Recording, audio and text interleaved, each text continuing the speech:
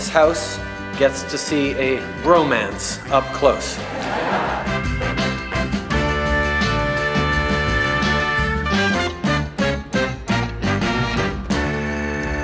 Thank you, Mr. Prime Minister of Canada, for making me feel so old.